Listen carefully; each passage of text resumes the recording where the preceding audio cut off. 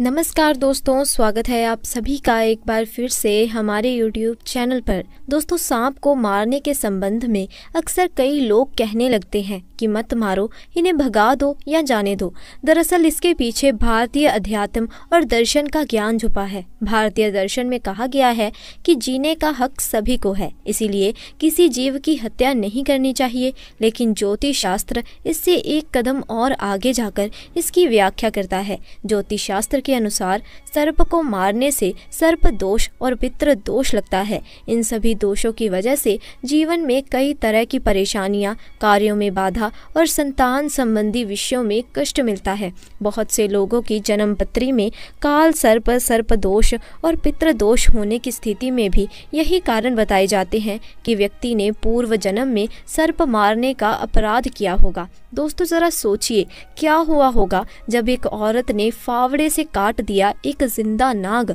फिर उसकी मौत के पाँच घंटे के बाद उसकी नागिन ने जो किया, उसे देखकर सबके होश उड़ गए।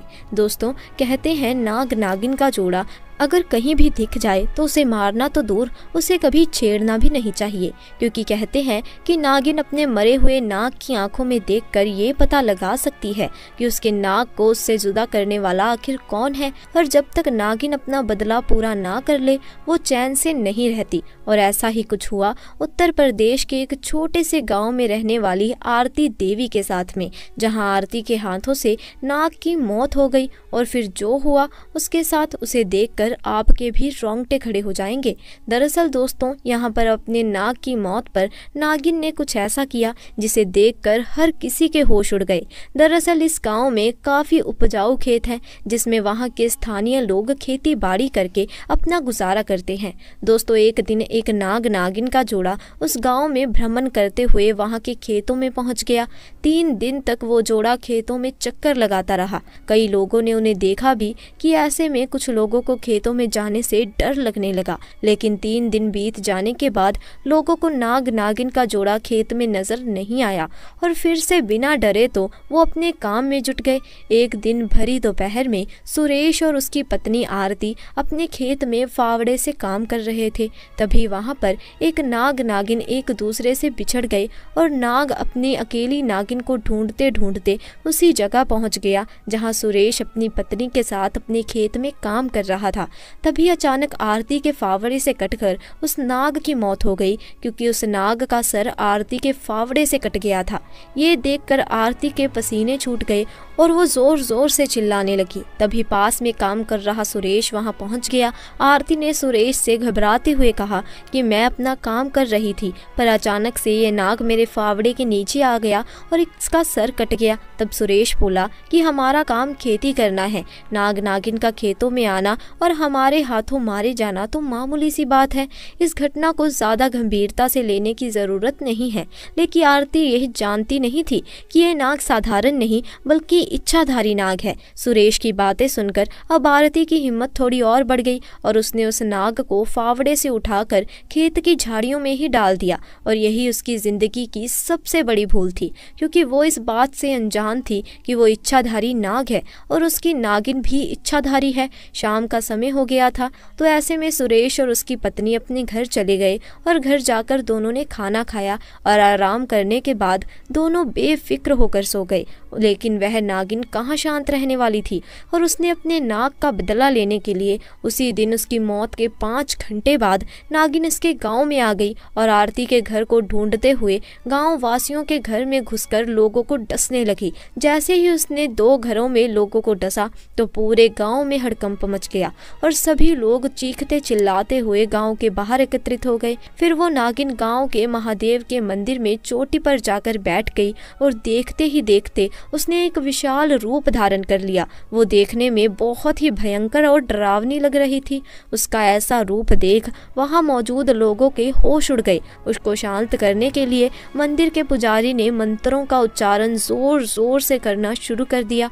कुछ ही देर में नागिन अपने साधारण रूप में परिवर्तित हो गई और मंदिर से उतरकर दूर जाने लगी। वो पूरी तरह से शांत होकर अपने रास्ते चली गई। फिर पुजारी को आरती ने अपने साथ घटी घटना के बारे में बताया। क्योंकि आरती को संदेह था कि शायद ये सब उसी वजह से हो रहा है। पुजारी ने आरती को एक मंत्रों का ताबीज बना कर दिया और कहा कि मैं बस तुम्हारी रक्षा कर सकता हूँ, लेकिन तुम्हारे कर्मों को मिटाया नहीं जा सकता।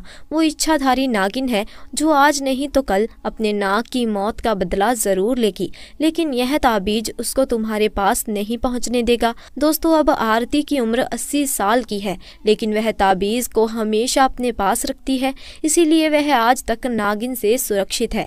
दोस्तों, इच्छाधारी नाग नागिन का रहस्य उनकी शक्तियों में ही छुपा होता है। वे इंसानों की मनोकामनाओं को पूरी करने में सक्षम होते हैं।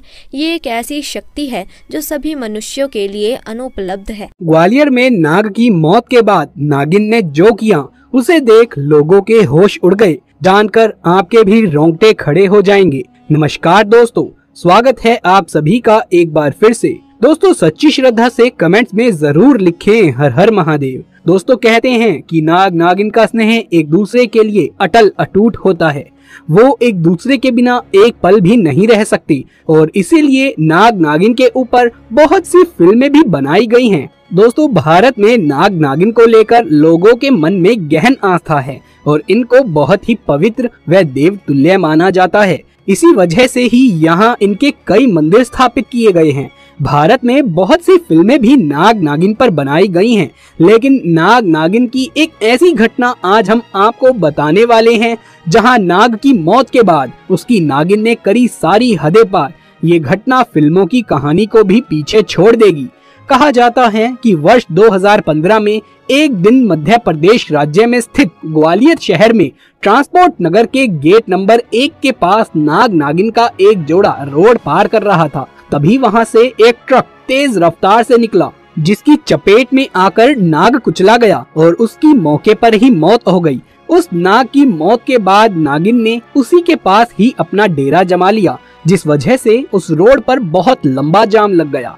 फिर उस नागिन को वहाँ से हटाने के लिए एक सांप पकड़ने वाले को बुलाया गया, जिसने उस नागिन को वहाँ से हटाकर जंगल में छोड़ दिया। लेकिन इसके अगले दिन उस नागिन ने उसी स्थान पर, जहाँ पर वो नाग की मौत हुई थी, वहीं पर आकर अपने खुद के प्राण भी त्याग दिए। अपने प्रिय नाग के वियोग में दम तोड़ने के बाद स्थानीय लोगों के द्वारा पूर्ण विधि विधान के साथ उनका अंतिम संस्कार किया गया और उनके शरीर को ले जाकर गंगा नदी में प्रवाहित कर दिया गया। इन दोनों के प्रेम को देखकर और इससे प्रभावित होकर स्थानीय लोगों ने वहाँ एक मंदिर का निर्माण करवाया, जिसमें नाग नागिन की मूर्ति को स्थापित कर दिया गया। इस स्थान पर हर वर्ष नाग पंचमी के दिन भव्य मेले का आयोजन किया जाता है, जहाँ सैकड़ों की संख्या में लोग जमा होते हैं और इस नाग नागिन के मंदिर के दर्शन करते हैं। इस मंदिर की विशेषता ये है कि यहाँ हिंदू और मुस्लिम दोनों ही आकर नाग नागिन के जोड़े की पूजा करते हैं। तो दोस्तों, आपकी इस घटना के बारे में क्या राय है? नीचे कमेंट बॉक्स में लिख करके ज़रूर से बताइए। यदि ये वीडियो पसंद आया हो तो इसे एक लाइक करके अपने दोस्तों और रिश्तेदारों में ज़्यादा से ज़्यादा शेयर कर दें। महादेव शिव के सच्चे भक्त। कमेंट बॉक्स में हर हर महादेव ज़रूर से लिख दे। आगे भी ऐसे वीडियोस देखते रहने के लिए हमारे चैनल को सब्सक्राइब करके पास वाले बेल आइकन को भी दबा लें। जल्द मुलाकात होगी आपसे किसी अगली वीडियो में। तब तक के लिए आप सभी का धन्यवाद।